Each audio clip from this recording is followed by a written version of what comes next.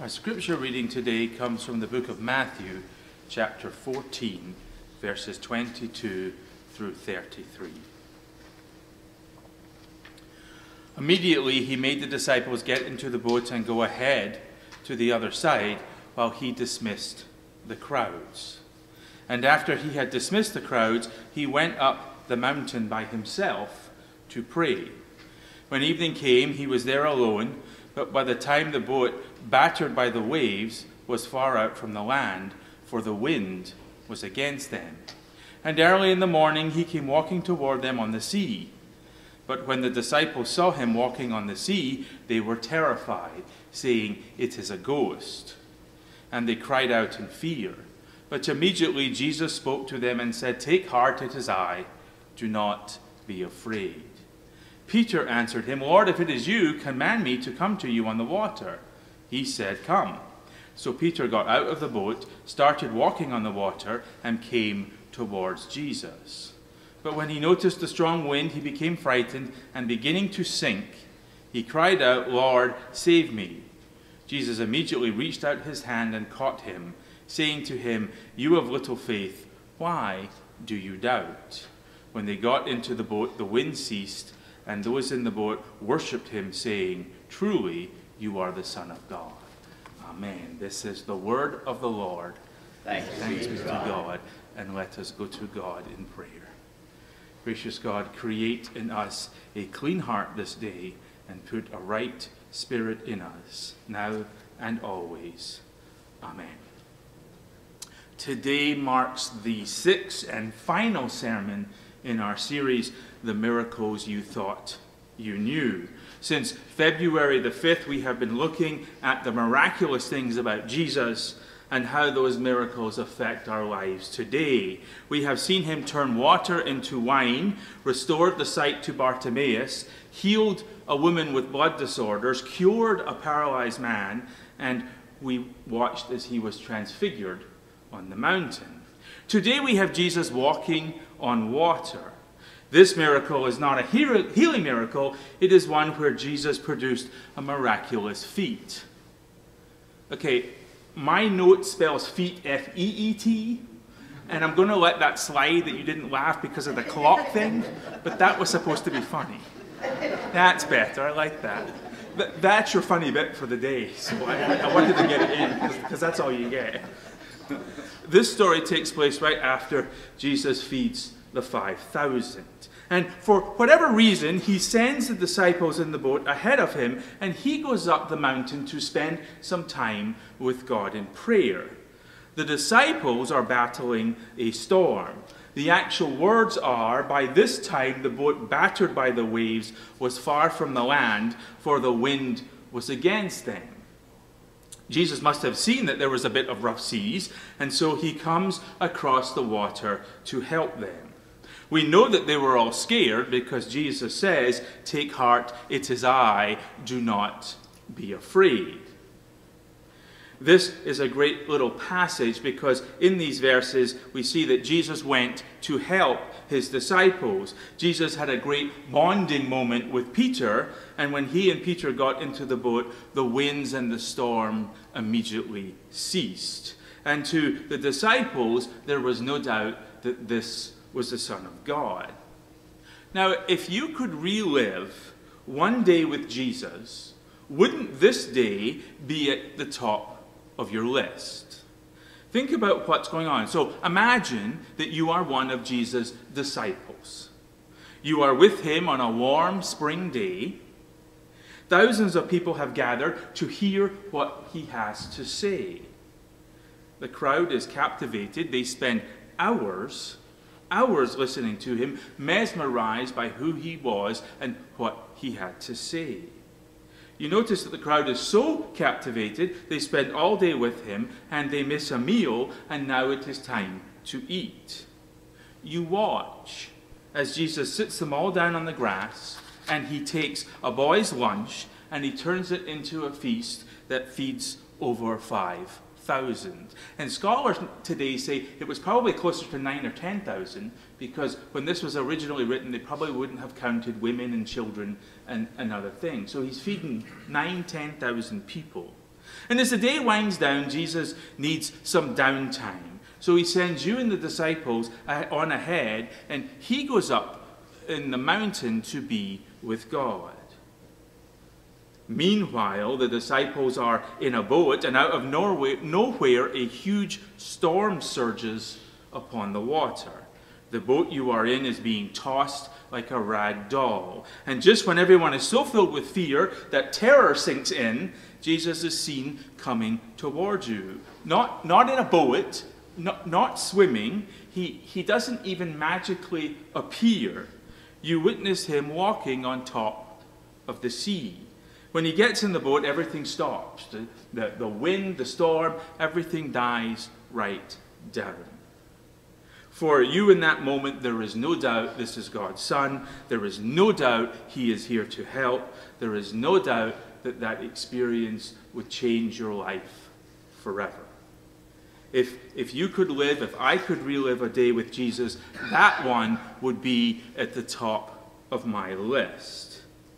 And, and since we can't go back in time, this event of mine is, is just a daydream. It's, it's an opportunity for me to pretend for a while. And I use the word pretend because in reality, we do have God's Son with us, helping us, and forever changing our lives. When we are being battered by the storms of our career, the storms of our family, the storms of illness, the storms of grief, the storms of our sins, our failures, and our mistakes, Jesus comes to help. He is he is our anchor during the tempest. He calms the raging storms that we face. He does not make the storms disappear. He will not prevent the storms from taking place. And it may seem that sometimes we are in that boat without him and he is up on a mountain far away. But make no mistake, Christ is right by our side, providing a calmness and a peace that allows the storms in our lives to pass. It's also important that we look at this interaction between Peter and Jesus. Beginning at verse 28, Peter answered him, Lord, if it is you, command me to come to you on the water. Jesus says, Come. And Peter get, got out of the boat and started walking on the water towards Jesus. But when he noticed the strong wind, he became frightened and beginning to sink, he cries out to be saved. Jesus saves him and says, Ye of little faith, why do you doubt? I think we are a lot like Peter in many ways. We live our lives for God. With Jesus as part of our lives, we get excited. We want to run to him. We want to be by his side. Our faith is strong at first. But then we start to think, we analyze, we become afraid. This happens because even though Jesus is by our side and our faith is strong, we quickly rely on our own strength. And as soon as we do that, we begin to sink. And when we are facing trouble, when we are in the deep end and struggling to even tread water, we, like Peter, yell out for Jesus to rescue us. And Jesus comes to our side and saves us. But think of all that we could do in this world, and think of all that we could have done if we relied on Jesus in the first place. Do you know what Peter's problem was, what our problem is? Peter looked at Jesus and began to walk towards him. Everything was fine until he noticed the wind and the things that were going on around him. As long as he was looking at Christ, he was safe. But when he was distracted, when he lost his focus, when his focus was on something other than Jesus, he began to sink. So then, the million dollar question for this morning is how do we keep our focus on Christ? There was a man who went to a restaurant. He had a date at 8 o'clock in the evening, so he gets to this restaurant about quarter till, 7.45 or so. And he goes into the restaurant and he picks the table he wants to sit at because he comes to this place often. And so he picks a, a table that's, that's not in the front, it's kind of in the back, but it can see everything going round, and he can watch the door for when his date arrives. He takes off his outer coat, he sits down at the table, very well presented man, very average, average height, average looking. He's wearing a nice uh, blue suit and a a catchy tie. I didn't know what word to use there. A catchy tie to match. A debonair, a natty dress. I don't know what you want, but he looks good. That's what. I'm, that's the point I'm trying to get across. The, the waiter comes over with a cup of coffee in his hand because this man comes in here all the time and he knows what to get him. And the waiter puts the coffee down and he says, Are you ready, sir? And he goes, No, I have a date tonight with my friend Cassie. I'll wait for her to come. And the waiter leaves, the man starts, you know, stirring the coffee, playing, playing with his cup, thinking about uh, what's about to happen. He is very excited with his friend Cassie coming to meet him. It seems as if they've been friends forever and that they've been a part of each other's lives at least as long as he can remember. He likes talking to her. He likes what she's become, what she's done with her life, how, how, how good of a person that she is. But what he's really looking forward to tonight is the opportunity just to hear about her day. He, he, loves the, he loves the sparkle in her eyes when she talks about the routines and the good things that happened that day. And he loves the passion in her voice and in her body language when she talks about problems she solved that day or people she helped that day. So he is very excited about her coming. And the waiter comes over again and tops up his coffee and asks him if he wants to order, and he says, No, I'll wait. And the waiter goes away, and the waiter goes away and he finds another waiter, and he says, I don't know whether to feel sorry for this guy or whether to call him an idiot. This is the third time in five weeks he's been at this restaurant. She's not coming. She didn't come the first time, she didn't come the second time, she didn't come the last time, and she's not coming tonight. And, and, and I just feel so sorry for this man because she's not coming. And the other waiter says, well, what do you care? What does it matter? Just serve the man his meal and leave him alone. And the waiter says, well, I do care because I do feel sorry for him. But he says, I don't care who you are and what the circumstances are. The worst thing in the world is being stood up for anything. And so I do care. And the man is still waiting and enjoying his coffee and, and keeps getting his refills. And time passes and time passes and the waiter comes by and he's been here a while now. And he says, sir, do you want to order now? And he says, no, I'll wait. And the waiter says, you know, sir, I, I don't mean to be rude and I'll probably get in trouble for this, but why? Why do you wait? She's not coming. She hasn't come before. Why do you think she's going to show up tonight? And the man says, Well, she's important to me and she needs me and she'll come. So the waiter goes away, tops up his coffee one more time.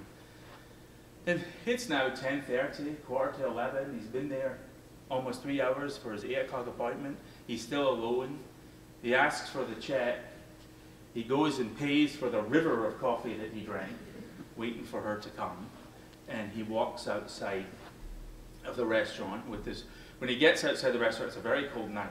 Let's just say it's Ohio. That makes sense. then we all know what the weather's like. So it's a very cold night, and he, he buttons up his coat, you know, fixes his scarf, all what you do before you walk out into the wind and the cold. And as he's doing this, you can see the disappointment in his face. You can see the sadness in his eyes. You can see the, the, the worry lines that are developing. And as he walks out into the cold, he just says, Why don't you come? Why didn't you come tonight? And he walks off, you know, into the moonlight, whatever it is, he's, he's, he's away.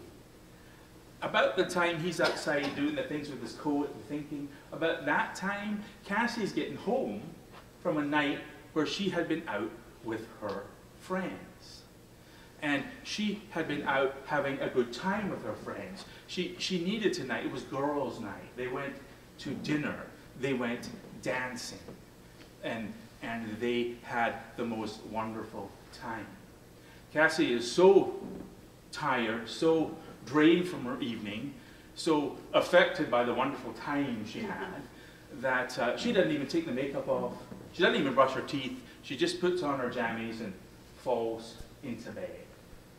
And as she rolls over to turn out the light, she sees a note on her bedside table. And it says, Friday night, 8 o'clock, don't forget to spend time with Jesus in prayer. You, you, you knew that stuff. No, it didn't. It looked like you knew. And she said, Oh, I forgot. I forgot to show up and do that. I need it tonight. I needed to be with my friends. I'll do it another time. God will. How do we keep our focus on Christ?